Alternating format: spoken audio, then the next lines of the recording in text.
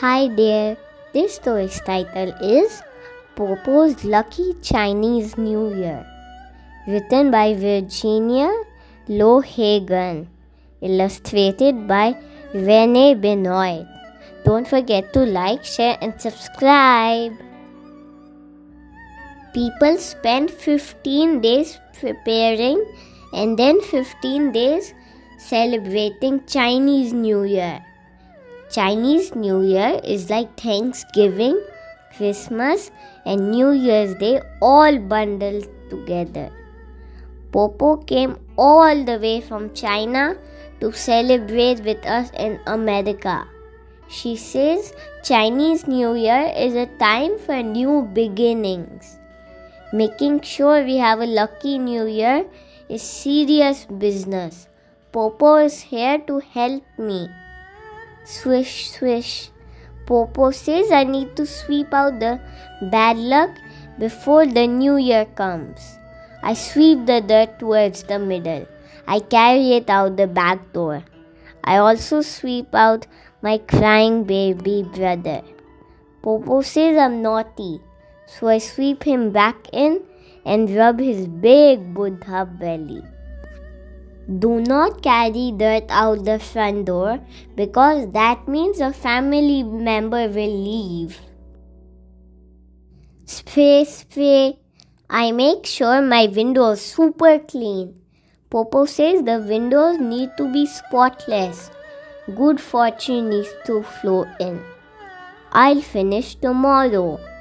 Popo says, You can't clean on New Year's Day. You'll wipe out good luck. Popo has a lot of funny rules about luck. I want to be lucky, but following her do's and don'ts is hard work.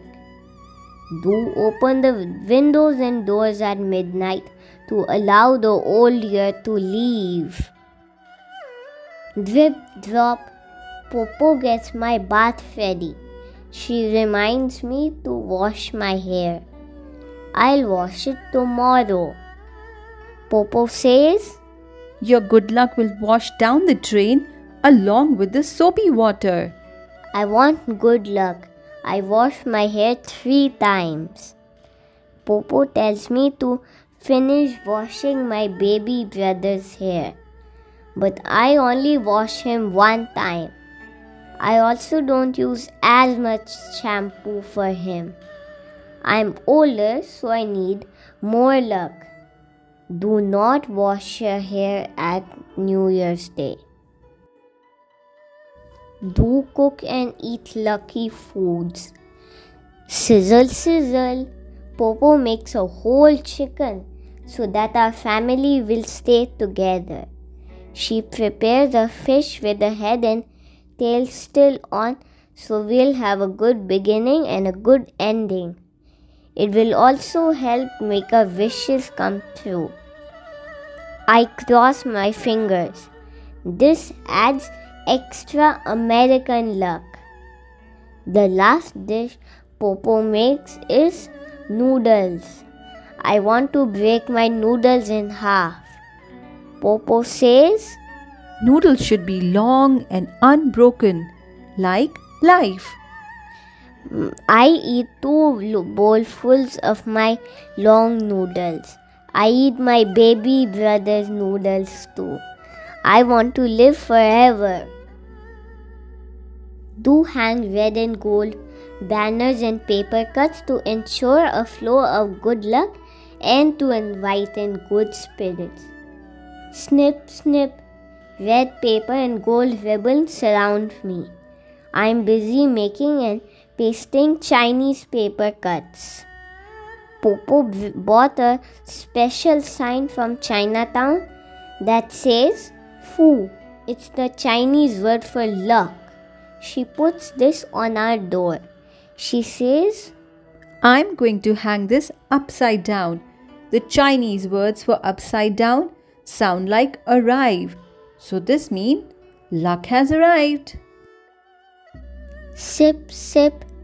I drink green tea so I can stay awake past midnight. No sleeping for me. Popo says I have to welcome the new year. The sound of the word sleep in Chinese is like the word for trouble. We don't want any trouble in the new year. I, I watch Popo and Mama play mahjong with friends. Click, click, the little blocks move quickly. Even my baby brother stays up. Do not sleep on New Year's Eve. Your parents will live longer lives. It's finally here. It's Chinese New Year's Day. Gung Hay Fat Choy. Happy Chinese New Year. I make a ruckus running around the house. Popo says the first person you meet today and the first words you hear are important to your fortune in the new year. I want to be the first person my baby brother sees today. I whisper in his ear. Fu, and he coos, Fu, back. Do not greet people in their bedrooms. It's unlucky. I bring him to the living room where Popo makes food offerings to our ancestors. On Chinese New Year's Day, Popo says I can't say any bad words or think bad things. I push bad thoughts out of my head, but it's really hard work, especially when my baby brother is around. I do not call him bad names even when he pulls my hair. This is the hardest rule to follow. Do not cut away your good thoughts. Do not use knives or scissors on this day. Do wear red it scares away bad spirits and monsters. I wear my new red cheongsam. My baby brother wears his new red changshan. Popo says these are traditional Chinese clothes. She says children should have new clothes and new shoes for the new year. She also says we should wear red Red will keep bad luck away. It's the color of fire. Popo strings red ribbons in my braids. She puts a Chinese red hat on my baby brother. I wear his hat when Popo isn't looking. I fill a small plate with four almond cookies. Popo adds four more. 4 is unlucky, but 8 is lucky. She counts everything. She adds or subtracts to avoid the number 4. My baby brother has 4 teeth. I draw an extra tooth for him and tape it to his mouth. Popo says evil spirits will make an exception for baby teeth. I tape it to his diaper just in case. Do not use the number 4. In the Chinese language, the character for 4 sounds like the character for death. Do make loud noises. The firecrackers, dragon dances, and gongs scare away the evil spirits. Pow pow! I throw tiny firecracking snaps on our front doorstep to keep out the evil spirits. Pow pow! At the parade at Chinatown, I help the dragons chase away evil spirits. I throw the loud snaps at their feet. Popo says only big girls can do this. My baby brother has to wait until he's older. I throw extra snaps for him. Dojia, Dojia. Thank you. Popo and I hand out oranges to family and friends. We're giving them happiness and wealth. I eat a couple because I want to be happy and rich. I eat more because I want to be super happy and super rich. Popo tells me to give oranges to Mama and Baba. I use my brand new red marker to write them a card. Popo almost has a heart attack. No red ink! I thought red was lucky. Popo says, Writing in red ink means you want that person to go away. I think about writing a card to my baby brother in red ink. He spilled his lunch all over my cheongsam. I take it back.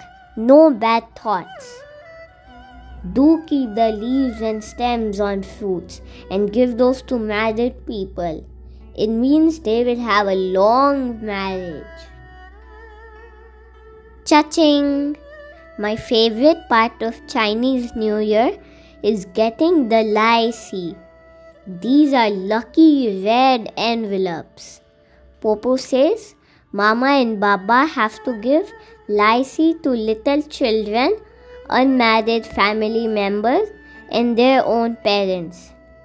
Lai have crisp brand new dollar bills inside. I'm glad I'm not a grown up because I don't have to give away any lai. From all my relatives, I have a mountain of red envelopes. Popo says I have to put them under my pillow so I won't have bad dreams. Yawn. Finally, the house is quiet. A lucky new year is hard work. I put two red envelopes next to my baby brother's head. I whispered to him, You're lucky to have me. Do give children two lai see, because Popo says happiness comes in pairs. The end. Thanks for watching. For more exciting read aloud stories, please subscribe to our channel Little Hearts Super Kids. Also follow us on Instagram for amazing updates.